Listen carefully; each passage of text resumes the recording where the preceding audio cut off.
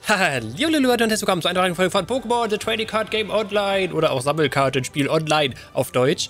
Ich bin ein bisschen in der Zwicklage, ich wollte dieses Video auch schon viel früher aufnehmen, aber Leute, richtig crank. Ich habe ja erst zwei Folgen von diesem Spiel aufgenommen und ich habe nicht wirklich krasse Sachen gemacht und trotzdem hat mir der Epic Gamer oder der Epic Nagato, wie er bei Instagram heißt, der hat mir einfach fast 30 Codes geschickt für dieses Spiel, auch neuere Codes. Und YOLO King hat mir dazu auch noch fünf Codes geschickt, die er irgendwie zu Weihnachten bekommen hatte.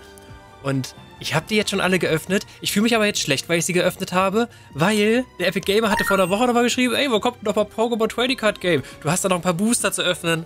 Und habe ich richtig schlecht gefühlt, dass ich sie schon geöffnet hatte, um das in einem Video zu zeigen. Deswegen jetzt meine öffentliche Entschuldigung an dich. Also danke, dass du mir die gegeben hast, was sowieso schon viel zu crank war. Aber ich habe in der letzten Folge gesehen, wo ich ja dieses Booster-Aufmachen-Ding gemacht habe, dass 70% der Zuschauer, die dieses Video gesehen haben, einfach diesen Boost-Opening-Part übersprungen haben. Klar, für dich wäre das jetzt vielleicht interessant gewesen, aber ich, ich zeige dir trotzdem, welche Karte ich bekommen habe, ja? Ohne, ohne die Booster zu öffnen. Hier, wir gehen hier in die Seltenheit, die höchste Seltenheit, weil da sind, glaube ich, die krassen, die man sehen möchte.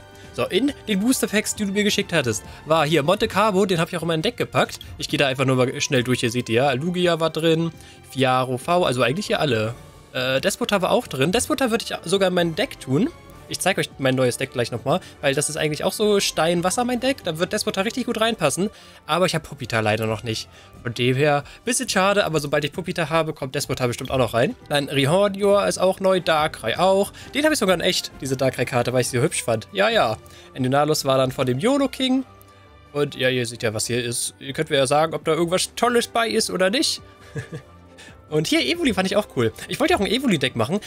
Ey, ihr habt richtig krasse Kommentare geschrieben in der letzten Folge, die jetzt halt auch schon ein bisschen länger her ist. Es tut mir wirklich leid, dass ich da jetzt so lange kein Video mehr gemacht habe. Blind war es auch richtig cool, aber auch sehr, sehr schwach, somehow. Äh, und da habt ihr mir ein paar Vorschläge gegeben, was ich dann so bauen könnte.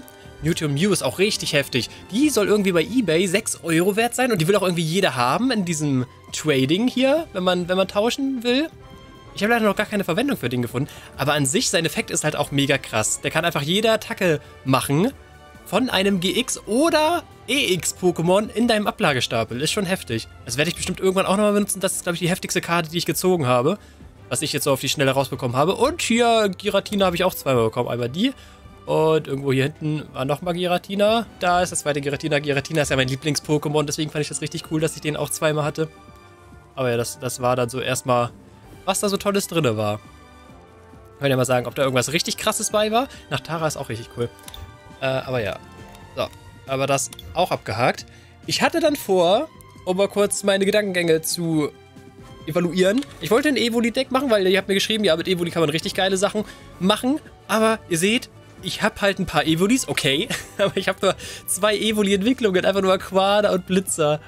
Und die sind jetzt nicht so stark. Also vor allem das Aquana ist halt wirklich nicht stark. Aber ja, irgendwann mache ich auch nochmal ein Evoli-Deck. Da habe ich nämlich irgendwie Bock drauf. Dann habe ich mir überlegt, yo, kannst du mal ein verrückte Party-Deck machen, weil das sieht auch richtig witzig aus, weil ich die Denne gesehen habe und die Denne sieht halt einfach knuffig aus. Ich wollte ihn nur ein Deck haben und seine Attacke ist halt auch richtig krass. Klar, kostet drei Energie, aber für jedes Pokémon, das die Attacke verrückte Party hat, das in deinem Ablagestapel ist, macht man einfach 20 Schadenspunkte mehr. Wie krass ist das denn? Und dann, wenn du dann einfach dein ganzes Deck voll hast mit verrückte Party, dann machst du ja richtig den Damage. Aber ihr seht auch wieder, ich habe nur zwei Pokémon, die verrückte Party machen können. und dem her nicht so ganz geil, aber kommt vielleicht in der Zukunft auch nochmal. So, und jetzt haben wir schon wieder viel zu lange rumgelabert, ohne überhaupt irgendwas zu machen. Gucken wir noch ganz, ganz kurz in, in mein Deck rein, das ich heute benutzen werde. Es heißt Klötze und es ist einfach ein Wasserkampf- bzw. Erde-Deck, wie ihr seht. Ja, das, also die Wasser-Pokémon sind eigentlich nur keine Ahnung, warum die eigentlich da drin sind. Ich, ich fand die witzig und habe nicht genug Erde-Pokémon. Ich brauche doch irgendwann Kikli, damit Nocturne krasser wird, aber irgendwie bieten die Leute Kikli immer nur für viel zu krasse Sachen an und dann kriege ich den aber nicht. Das hier sind meine Haupt-Pokémon in diesem Deck. Ist jetzt nicht die krasseste Taktik oder sowas, sondern ziemlich Haut drauf. Äh, meine Taktik wird es eigentlich sein, relativ früher Kaguron GX zu bekommen, dann seine GX-Attacke einzusetzen. Dadurch kann man seine ganzen Preiskarten nämlich auf die Hand nehmen. Dann hast du schon mal sechs Karten mehr auf der Hand, kannst damit mehr Sachen machen und an sich ist halt auch stark. Der stirbt mir meistens allerdings weg, da kriegt der Gegner zwei Preiskarten. Und das ist aber trotzdem alles cool. Und besiegen tue ich den Gegner dann meistens mit Humanoid V, beziehungsweise seiner Weiterentwicklung Humanoid V-Max. Also, ist, naja, der, die VMAX-Form von denen halt. Und der ist nämlich auch richtig krass, weil er kann sich immer heilen, wenn man, wenn man so einen Stein an den Rand packt. Also kriegt man dann ganz schnell auch seine drei Energiedinger hin, dass er dann 200 Schaden machen kann. Und dann haut man halt die Gegner einfach weg.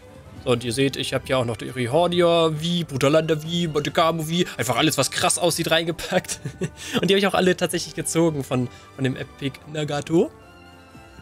Und ja, da noch ein paar Trainerkarten, die mir eventuell helfen können. Mal gucken.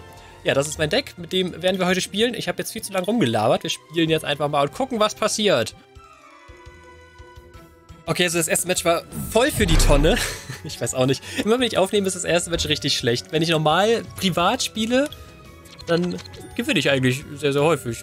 Aufnehmer plötzlich nicht. Also ich, ich hatte halt am Anfang nur ein Pokémon, das hat er dann vernichtet und dann war ich halt tot. War nicht ganz so geil. Eigentlich habe ich immer mega Glück mit meinen Handkarten. Jetzt auch schon wieder nicht. Ich habe einfach nur mein Rihornio V. Was will ich denn damit? Ja klar, Rihornio ist schon stark so, sobald er seine drei Energiedinger hat. Aber ansonsten kann der jetzt auch nicht so viel. Oh, dafür ist Cider ganz cool. Sobald wir zumindest, also wenn ich jetzt zumindest noch ein zweites Pokémon irgendwie bekommen könnte, wäre das ganz, ganz supi. Er hat ein Feuer-Normal-Deck. Da habe ich mal, okay, ja, normal, normal, das stimmt soweit schon mal. Hey, und wieder richtig Pech. Ich kriege einfach kein zweites Pokémon. Wie viel Pech kann man denn haben, dass man nicht zwei Pokémon am Anfang hat? Da fühle ich mich immer so richtig unsicher, wenn ich nur ein Pokémon auf dem Schlachtfeld habe, weil sobald das ja tot ist, hat man einfach verkackt. Normalerweise habe ich immer meinen Humanoiden und bin richtig cool, hole mir meine sechs Preiskarten ab und dann geht alles toll. Weil ich halt auch richtig viele Trainer- und Itemkarten habe, womit ich mir meine, meine Pokémon da alle holen kann. Aber jetzt, ich kriege einfach gar nichts, Leute. Ich kann, ich kann einfach gar nichts. Ich, äh, er teilt seine, seine Energien auf, die, by the way, Feuerenergien zumindest sind. Oh, Humanoid V-Max haben wir zumindest schon. Das ist natürlich wieder was anderes. Kann ich zwar auch nicht ausspielen, aber immerhin. So, hier, dann war Schlagbohrer, das ist sein Volley zumindest schon mal weg. Oh Leute, wir waren sogar in, in der Schwäche. Oh, und ich krieg wieder noch Energie. Ich hoffe, mein Humanoid ist nicht in den Preiskarten drin. Das wäre richtig kacke. Und wie das Kakagu, Kagumon? Wie heißt das? Ich, ich habe diese neuen Pokémon wirklich gar nicht drauf. Wenn das auch in den Preiskarten ist, dann habe ich halt richtig verkackt. Normalerweise habe ich immer eine Itemkarte, kann in meinem Deck nachgucken, was da so für Pokémon überhaupt drin sind. Und dann, dann weiß ich, wie ich zu spielen habe. Oh, natürlich hat er einen Glurak. Jeder, der ein Feuerdeck hat, spielt mit Glurak. Okay, wir haben zumindest mal ein zweites Pokémon, das ist schon mal positiv. Wir könnten noch eine vierte Energiekarte auf Rehornio packen. Also rein theopraktisch sollte ich ihm das schon geben. Ich gebe ihm mal eine Wasserenergie, einfach vor so Lulz. Äh, und macht trotzdem Schlagbohrer, weil... Langt ja, ne? Langt ja, langt ja. Ein gutes Pferd springt nicht höher, als es muss. Wieder eine Wasserenergie. Mann! Das ist doch super lame. Sowas will ich dann doch nicht hochladen, wenn ich ihn jetzt einfach so wegmache. sein Glurak sieht cool aus. Was kann der denn? Der ist aber nicht so doof wie dieses Delion-Glurak, nicht wahr? Das immer stärker wird, umso mehr Delion-Karten er hat. Und er muss sogar seine Energien weglegen, wenn er angreift. Das ist ja richtig die blöde Karte. So, hier, ja, endlich. Wir können mal nach einem Pokémon suchen. Die meine ich. Jetzt können wir endlich mal gucken, ob meine... Oh, guck mal, die sind tatsächlich beide da. Na, dann brauchen wir ja Ka Kagoron nicht. Kagoron ist immer meine, mein Backup, falls äh, Humanoid oder Humanoid VMAX im, im Preisstapel sind. Aber dann nehme ich mir einfach meinen Humanoiden. Dann ist das ja, das ist ja, ja nice. Dann habe ich ja meine, meine Standardkarten hier. So, let's go. Ähm, jetzt wäre richtig geil. Ach, Seida können wir erst in der nächsten Runde einsetzen. Okay. Aber dann könnten wir alle Erdenergiekarten, die wir auf den Ablagestapel tun, auf unsere Pokémon raufpacken, die auf, unserem, auf unserer Bank sind. Das ist richtig stark. So, egal, den machen wir auch auf jeden Fall weg. Tschüss, dumm Isel. Voll der Sad Boy. So lame ist das trotzdem. Er kann ja nicht, nicht mal irgendwas machen. Oh nein. Voll der arme Boy.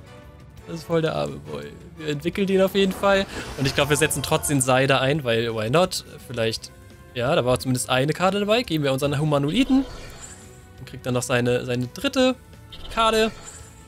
Und wir setzen schweres Felsgestütz ein. Ach Mann, aber das ist ja wirklich richtig lame. Wenn er jetzt kein Pokémon hat, das auf seine Bank legen kann, dann hat er eh schon verloren. Und wir dürfen sogar Pre zwei Preiskarten ziehen, weil das eine V-Karte ist. Oh, er kann nichts machen. Nein, das ist ja super lame. Aber ich finde das immer blöd, wenn man, wenn man den Gegner dann zappeln lässt, deswegen. Na toll. Cool. Zwei richtig langweilige Matches. Geil. Das erste war langweilig, weil der mich einfach in der zweiten Runde quasi getötet hat. Und dieses hier war langweilig, weil der Gegner auch nichts wirklich machen konnte. Ja, dann hänge ich noch eins dran, Leute. Für euch. Uh, Brutalanda. Endlich mal ein paar Pokémon auf der Hand. Kommand oh, wir haben Kommandutan von Anfang an. Ich finde den so witzig. Vor allem, ich habe ja extra Shigi auf mein Deck raufgepackt, hier auf meine Box. Und dadurch denken die Gegner eigentlich immer... Oh, ja, ja, ja, ja, ja, ich will... Ah, nein, hier, Kommandutan soll vorne hin. Oh Gott, was habe ich gerade gemacht? Äh, egal. So, dadurch denken die Gegner immer, dass ich ein Wasserdeck habe. Und dann sagen die immer, wenn ich die Attacke hier einsetze, dass ich ein Wasser-Pokémon gerade zeige. Aber meistens zeige ich dann einfach ein Normal-Pokémon oder ein äh, Kampf-Pokémon. Dann darf ich vier Karten ziehen. Richtig witzig. So spiele ich mit dem Brain meiner Gegner. Ich bin richtig der, der Brainfucker oder so. Zumindest glaube ich das von mir. Ja, ja. Oh mein Gott, ein Relaxo V. Das einfach viel zu überbelichtet ist. Alter, Verzehrer ist ja richtig stark. Heile bei diesem Pokémon genauso viel Schaden, wie du dem aktiven Pokémon deines Gegners zugefügt hast. So, wir setzen das Pokekind ein. Gucken, ob wir unsere ganzen... Ja, wir haben alle drei. Ich meine, immer wenn ich alle drei habe, dann, dann nehme ich einfach Humanoid, Leute. Dann brauche ich Kagu, Kagugon nicht. So. So, jetzt hat er, jetzt hat er den gesehen, ne? Den ich gerade genommen habe. Finde ich ja vielleicht gar nicht so schlecht. Egal, wir setzen nochmal den Pokéball ein.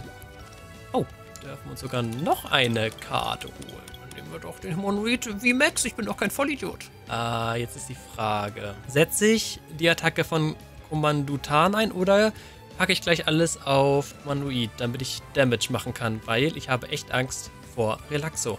Er macht aber auch nur 170 Damage so, ne? Ach Moment, guck mal, er hat sogar Schwäche. Er hat Schwäche, genau das, was wir haben.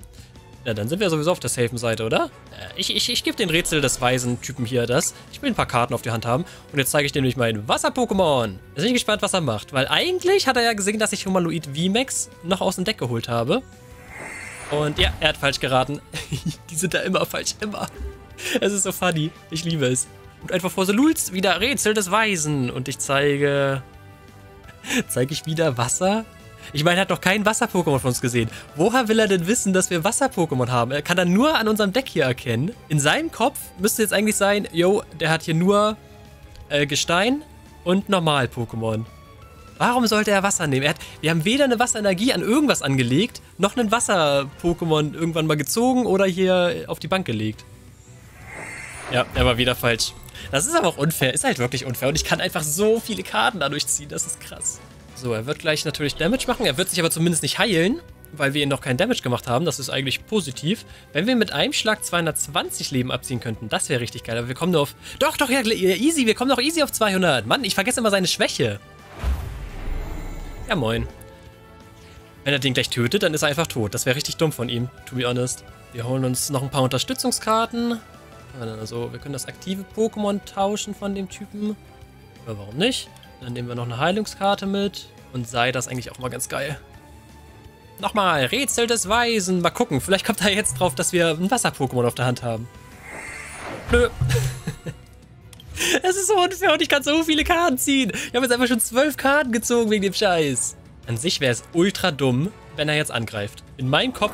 Oh, er kann ihn sogar entwickeln. Zu Vati, aber der kann ja auch nichts. Aber wahrscheinlich hat er schon die dritte Entwicklung, gell? Jetzt ist die Frage, ob er angreift oder nicht. Die Rückzugskosten für Kommandutan sind einfach viel zu hoch.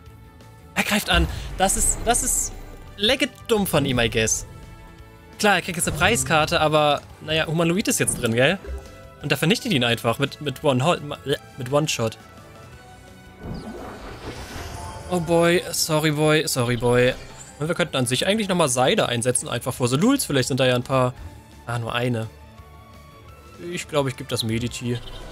Warum nicht? Und dann einmal der deine Brocken. Dankeschön. Tot. 400 Damage. Bam. Da haben wir aber auch Glück, dass das wirklich seine Schwäche war. Da das eine V-Karte ist, kriegen wir natürlich wieder zwei Preiskarten. Nice, nice. Meine Hand ist viel zu, viel zu voll hier. Ist es wieder relativ langweilig, weil er jetzt kein Pokémon hat oder das noch entwickelt? Er entwickelt das, ja, ja war, war klar, dass das hat. Ampharos. Das aktive Pokémon deines Gegners ist jetzt verwirrt. Oh nein, bitte nicht. Tue das nicht, bitte. Ach, man hat auch schon wieder voll Pech. Guck mal, sein, die Schwäche ist einfach genau das, was mein Deck ausmacht. Belastend.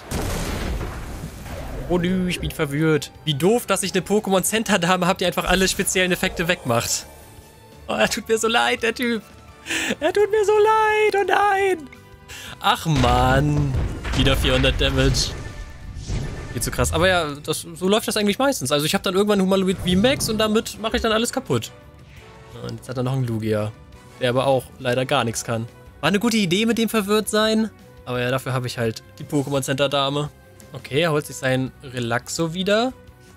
Den wird er jetzt, ja, ja, den wird er auch sofort wieder hinpacken. Relaxo ist also sein Ding, ja? Das ist seine, seine Hauptkarte in seinem Deck. Aber er hat, das ist doch dumm. Er hat doch gesehen, dass der Schwäche hat. Ich, ich weiß nicht so ganz genau, was er vorhat. Und ich, ich werde das auch gleich veralten, was er hier vorhat. Hier, Pokémon-Tausch. I'm so sorry, aber ich muss den Relaxo töten, bevor der gleich irgendeinen Bullshit macht. Und jetzt darf ich einfach wieder zwei Karten ziehen, weil das ja wieder eine Wii-Karte ist. I guess, das haben wir dann damit gewonnen. Oh, er macht nicht mal irgendwas. Ja, okay, ich, ich erlöse dich. Ich greife instant an. Trotz Resistenz langt das. Ach, Mann. Ja gut, das waren jetzt zwei nicht so ganz krasse Matches. Und das allererste, das ich rausgeschnitten habe, das ihr gar nicht mitbekommen habt, da habe ich halt instant verloren. Äh, oh. Wir kriegen ein, ein neues Pack. Tut mir dann leid, Leute, dass das heute so, so ein bisschen komisch war. Aber ihr habt mein Deck gesehen. Es ist jetzt nicht das krasseste, weil mir aber auch einfach noch ein paar Karten fehlen. Ich habe euch aber meine Karten gezeigt. Nochmal danke natürlich an den Epic Gamer für deine Codes, was ich immer noch nicht verstehen kann, warum du mir einfach nach nur zwei Folgen so richtig viele Codes schickst. Die kosten ja auch Geld und so, weißt du?